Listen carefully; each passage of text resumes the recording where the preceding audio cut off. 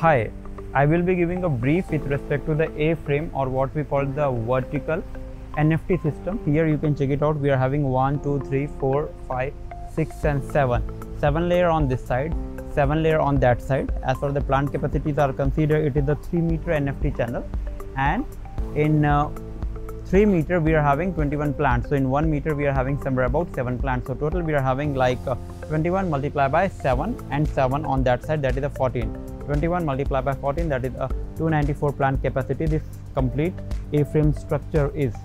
As for the height is considered it is having height of somewhere about 6 feet height and uh, you can check it out. The roots of these budding plants that basically we have placed. And all NFTs are open openable. You can check it out the plumbing that basically we have done each and every inlet can be closed. Suppose you want to separate it from the main connection you can close it from here. You can close it that one from that corner. And there is the individual inlet as well as outlet with respect to each and every nft you can check it out outlet here.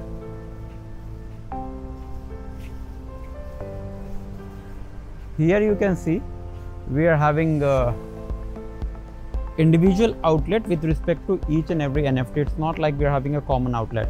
So that's how basically A-frame structures are made. As for the material is considered, it's again food grade UPVC virgin plastic heavy metal free. At any given point of time, we don't use PVC material as far as our commercial hydroponic setups are considered. Thank you.